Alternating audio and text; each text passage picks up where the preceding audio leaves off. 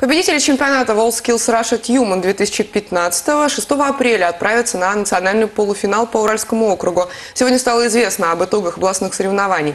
Для поездки в Екатеринбург уже сформировали команду из 11 человек. Напомним, в течение трех дней студенты и молодые специалисты показывали свое мастерство по 11 профессиям. Посмотреть на чемпионат лично пришли свыше трех тысяч тюменцев. Также велась онлайн-трансляция только по России. Наблюдать за конкурсом могли жители 131 города.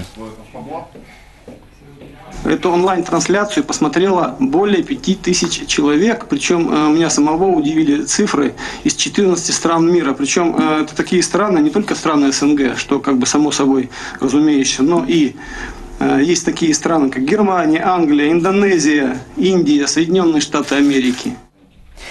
Кстати, в 2016 году организаторы планируют устроить испытания уже по 18